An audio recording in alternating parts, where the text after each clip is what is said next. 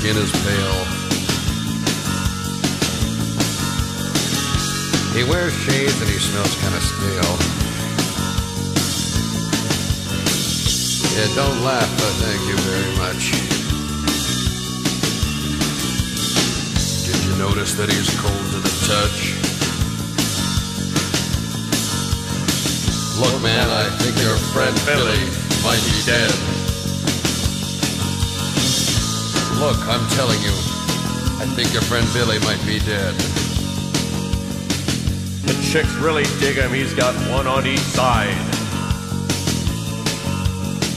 Don't you think it's strange he's got a hearse for a ride? I'm talking serious, I'm not half crocked. You know, it's kinda weird, his fridge is padlocked.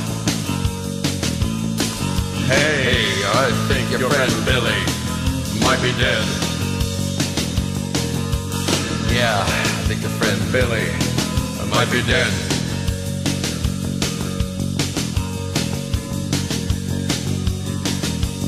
I've been following him around. He goes to the mortuary a lot. He buys heavy makeup.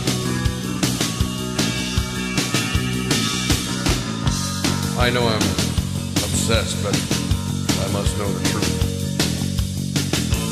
Think your friend Billy I might be dead. Look, let's talk serious. I think your friend Billy might be dead.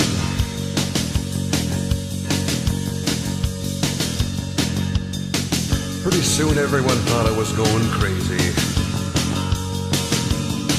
He said you're just jealous of Billy. He's just kind of lazy. I did some research and found something scary. Went to the library and found Billy's obituary. Huh? Uh, here's his picture. I'll tell you now, your friend Billy is officially dead.